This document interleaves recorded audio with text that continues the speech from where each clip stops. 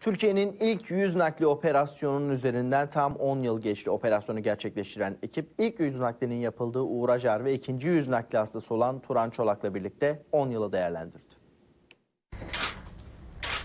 Uğur hazır mısın dedim. Aynen böyle bak ben unutmuşum. Ben hazırım siz hazır mısınız hocam dedim.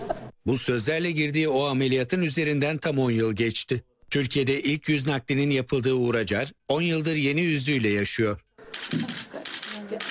Takvimler 21 Ocak 2012'yi gösteriyordu. Akdeniz Üniversitesi Tıp Fakültesi'nde görevli Profesör Doktor Ömer Özkan başkanlığındaki ekip ilk yüz nakli için operasyona başladı. Daha 40 günlükken evlerinde çıkan yangında yanan Uğur Acar'a Ahmet Kaya'nın yüzü nakledildi. İlk kol naklinin tecrübesi, rahim naklinin tecrübesi Uğur'un ameliyatı tabii.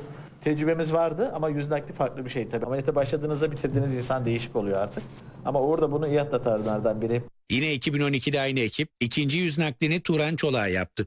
İlk yüz naklinin üzerinden tam 10 yıl geçti.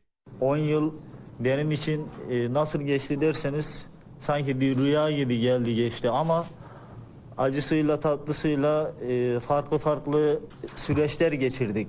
Bunlar e, iyisi de vardı, kötüsü de vardı ama her zorlu süreci de atlama, atlatmasını bildik. Ben öncelikle hocam Ömer Özkan hocama çok çok teşekkür ediyorum. Bize hayat verdi. Biz bu hayatta evlilik yuvası asla umut yapamazdık. Hocamın sayesinde evliliğimizi, yuvamızı kurduk. 10. yılda operasyonu gerçekleştiren ekiple buluşan Uğur Acar ve Turan Çolak pasta kesip yeni hayatlarını kutladı. Nice on yıllara darısı diğer.